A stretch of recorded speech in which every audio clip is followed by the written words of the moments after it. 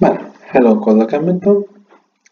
Illum li ħa nagħmlu huwa dwar population growth, biex inkun iktar speċifiku dwar demographic transition model.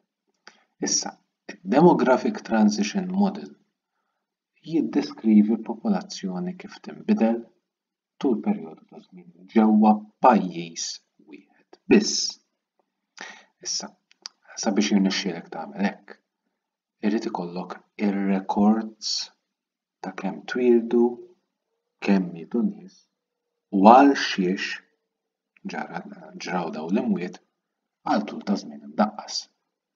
Issa l-ewwel pajjiż li rnexxielu jagħmel dil-biċċa xogħol kienu l-Iżvediżi. L-Iżvezja huwa pajjiż minn dawk li minn dejjem kienu organizzati ħafna, pajjiż żgħir li eh, rnexxielu jagħmel anke imperu fis-1600s u s-1700s kellu imperu żgħir li jikkumbatti tajjeb tajjeb ma' xi ħaġa li huwa għar-Russja li llum il-ġurnata huwa ġgant minn dawk il-kbar nett nett nett.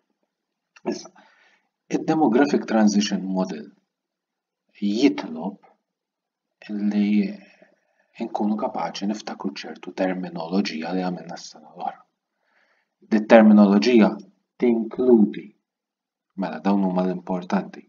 Number one, birth rate, the number of births per thousand population per year. Death rate, the number of deaths per thousand population per year.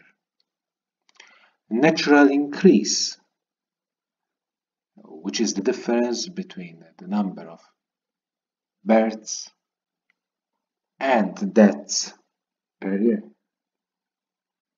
Ovvjament din tista' tkun natural decrease jekk in-number ta' deaths jekk id-death rate hija ogħla mill-birth rate.